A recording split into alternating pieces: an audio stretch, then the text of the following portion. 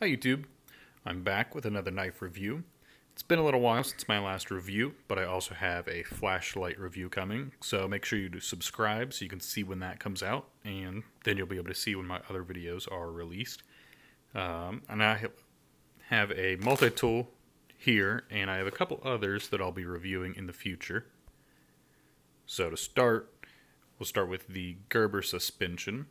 Uh, specifically, the model number is 22-01471 and I say that because there's another one that is also called the Gerber suspension that is I don't know it looks a little skinnier and it has some other tools on it. So this is that specific model number.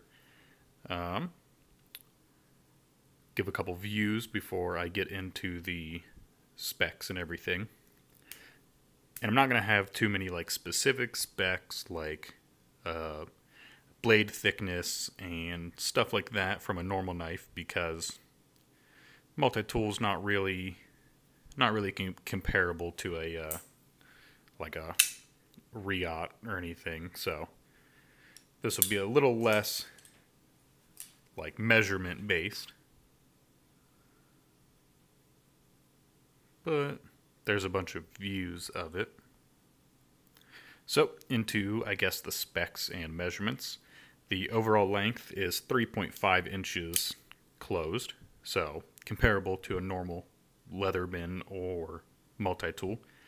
Um, handle thickness is 7 eighths of an inch, and that is out to the outside of these large uh, screws. And the weight is 10.2 ounces on their website, on Gerber's website, and on Blade HQ they said 9 ounces. So I mean it feels pretty heavy. So I'd probably go with the 10.2 ounces and just assume that Gerber is right with the weight but who knows? Um, you never really know. Uh, blade material and I guess probably the same material for all of these tools is steel. Oh. so I'll show you the blade. There's the plain edge knife blade, and there's also a serrated edge knife blade, both just steel, no idea what kind of steel. I'd assume it's not even as good as like 420H or whatever, or 440C, definitely not as good as that. So, some kind of mystery Chinese steel. Uh, handle material is also steel, it's just kind of brushed with a titanium color finish is what they call it. So it said titanium finish, but it's really just some sort of painting or coating or something on there. Doesn't look too bad. Gives it kind of a contrast between the tools and hardware. Um, the finish for all the tools, you can kind of see it on the outside of there, and I'll pop open a blade. It's kind of a smoothed, like blasted finish. And then on some of the tools, like the saw, which is kind of ground down, you have a kind of machine satin from when it was machined or grinded down. Um, it has the safety lock or safety plus lock. Um, saf.t.plus is how they spell it, which is kind of goofy. I don't know what it stands for other than just, I mean, it's a, I'd assume that stands for something specific, but it's just their version of kind of a locking multi tool. So it kind of just pushes a bar up behind here, I'd assume, that locks up with that 90 degree flat spot back there. So all you do is pull back on the handles. When you pull it back, it releases now going over the tools, and as you can see, they open outward, which is nice. Old Leathermans and stuff, you had to open it up to get to the tools, so we can start from this side. You can see, picture right there is the plain edge knife like I showed earlier. Then, to get the inside tools, you use this little hook. And there's the flathead screwdriver. A Phillips head screwdriver. Like I showed earlier, you have this saw which I have not used, and I'd assume, I mean, it's not as good as using a real saw for like sawing a branch or something, but you can kind of see on the point of the front row of teeth, you can see a burr on every single tooth. There's like a burr that's rolled over, and it's not on the actual tip or anything, it's kind of further down the edge. So I'd assume if you were cutting a branch or something, it would kind of knock all those burrs off, but definitely doesn't show like a super high quality saw or anything if they leave those burrs on there. Um, so that's it for that side, I believe. Yep. And for this side, you can see, got the picture of a serrated knife. So it's got those big kind of, um, not very aggressive serrations, kind of like a bread knife almost.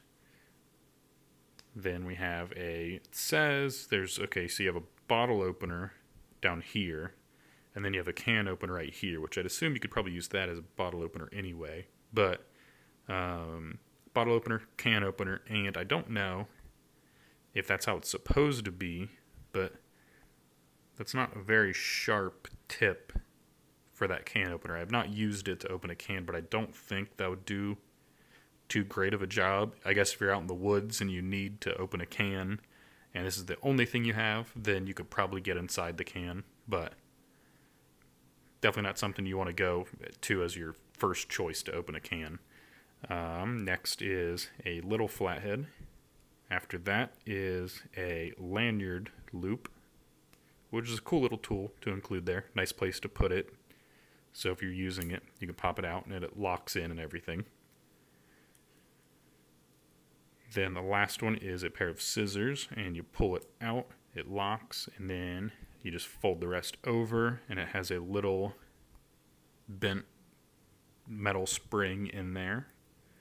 Kind of a different take on the scissors than I've seen on most kind of Victorinox Swiss Army knives and Leathermans and stuff. So, cool little design. I think that's all the tools. That should be 12 think five on that side, five on that side, and then you have your pliers and wire cutters. So you have two different rows of teeth on those pliers, like normal needle nose pliers. You have wire cutters, which I wouldn't trust cutting wires with it really. It's not super sharp. It's kind of just two pointed teeth that clamp together inside there, so not great, but like I said about the saw and the can opener, if it's like your only option, then it'll probably get the job done, but definitely shouldn't be your first go-to. Um, and the, uh, they are spring-loaded pliers, so feel nice, automatically open and everything. Uh, I think that's it for all the tools. Um, the design, it's very hefty, like I said, 7 eighths of an inch wide, uh, 10.2 ounce. So heavy, hefty, not something I'd carry on my belt or anything or in my pocket. Um, what's nice is the little tool pictures. So it shows you what tools are there. You can see on the bottom there's the saw, and on the top is the serrated blade. There's the scissors and the plain edge blade. So it also says which direction to pull to unlock it. Um, it's got thumb studs. I guess it's easier if I close it. But triangular thumb studs that kind of stick out a little bit and they're kind of stepped so that you can grip it a little easier. And like I said earlier, use a little hook, kind of like a nail nick, but a little hook in there to grab it and I just cut my fingernails so they're a little shorter and I'm still able to grab most of them. If you like bite your fingernails or something, then you might have a hard time, but you can kind of reach up and grab it in different spots if you really need to. Um, and if you like, if you open up the main blade, then you can reach in there and get it a little easier. Just gotta watch out because then you have the blade open. Um, and I said spring-loaded pliers already, so that's kind of all the design elements of it. Um, some of the pros, uh, it's definitely functional. I've used it a lot. like I said, I wouldn't carry it in my pocket or on my belt or anything. Um, and it does come with the sheath, like I showed, with little belt loop and stuff. But I wouldn't carry it like that. I just keep it in my backpack. Um, I've taken apart a couple different things with it. I've used it to um, take apart a fishing reel. So I used both flatheads, um, maybe the Phillips head, and the pliers all in taking apart a fishing reel. Um, I've definitely used it for a couple other things. I've gotten splinters in my fingers before. You can actually see a little spot from like two days ago when I was using it, but had a splinter in my finger, and the needle nose pliers are close enough together at the tip. I probably won't be able to zoom in on that, but yeah, there you can see. They are close enough together at that tip where you can grab a splinter if you need to. So, definitely functional. Um, the open out tools is a nice design, so you don't have to open it up every time like you used to have to for all the old Leathermans. So, just slide it open, it locks, which is nice for a Leatherman, and then you just unlock it and close it. Um, it's cheap. Um, I think around thirty to forty dollars is the normal price for these. So, as far as Leathermans go, there's a lot of like really nice or multi tools, but really nice Gerber and Le- Leatherman that are in like the 70s or 80s. And if you're not going to carry it every day and use it, then um, a little $30 option like this would be pretty good to go with if you're not using it every day. Um, I've seen people said they keep it in their toolbox or they keep it in their truck or something, and I keep mine in my work backpack that I take to work every day. So I'm not using it every day, but it's there if I need it, and I don't really notice it because I'm carrying a whole backpack full of stuff. So I'm not going to notice the 10.2 ounce of this added on to all that. Um, cons is mystery metal no idea what it's made out of. The outside, the inside, the pliers. You can see even right there on the back of the pliers, all those little bumps. So the pliers are cast. Um, no idea what they're cast out of, but um, really no clue on the steel. Like I said, just some Chinese steel that Gerber uses on all their cheap stuff. So who knows how long the blades will last, how long that saw would last if you're cutting stuff with it. Um, should be easy to sharpen because it's definitely pretty soft, but um, probably won't take an edge or, or probably won't hold an edge for very long. Um, the tools, some of them are tough to open. Like I said, if you bite your fingernails or something, you won't be able to get to these as easy. Um, and also, the thumb studs are kind of pointy they have hot spots on them, and they're also like not very easy to open. So compared to a normal knife, where you can, I mean, just grab a thumb stud, flip it open. I can't. I don't think I can flip that really. Yeah, kind of stiff, kind of pointy, digs into your fingers. Same with these; they dig into your fingers. So a lot of hot spots really all over this thing. When it's open like this, there I don't feel too much. That's nice and smooth. But closed, using it for a knife or something else, then you're definitely feeling all those little hot spots. Like, see if I can zoom in on it. You got the back of that lock right there. That's really pointy. So, that's kind of annoying. Definitely not the most comfortable Leatherman multi-tool type thing, but um, like I said, it's not something I use every day. If it's something you're going to use a lot, I might watch out about it. Maybe maybe wear some like work gloves or something like gardening gloves or welding gloves if you're going to use it a lot. Because if you're using it for more than just a couple little tasks, then you're probably going to get some blisters or something from using this lock because it's not very easy to operate. Um, so final ruling on this um, for being cheap, I'd say it's a really nice multi-tool. Um, Thirty to forty dollars it's definitely good enough um, for that price.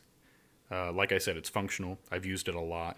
Bunch of different things, splinters, taking stuff apart, the the screwdrivers, the flatheads and stuff. They all work great. So haven't cut too many things with it. Just little stuff. Nothing really. No hard jobs really. So Um, not 100% sure on how well they'd perform over time. Like I said, the steel's not great, but for the price, definitely usable. I mean, if you if you have this in your toolbox or your uh, truck or something, then you've probably got a real knife on you also that you can use for cutting stuff that's whatever, a little harder to cut through. Um, it's too heavy to carry, so like I said, truck, toolbox, something like that. I wouldn't recommend carrying it in your pocket because it really is just a big chunk of metal. And uh, it really is just like a mini toolbox for your backpack or your car. Definitely usable, could be a good gift or something. So I like it. I didn't buy it, I got it as a gift, and I definitely liked this as a gift. So I probably wouldn't have bought it for myself, but I like it. I use it.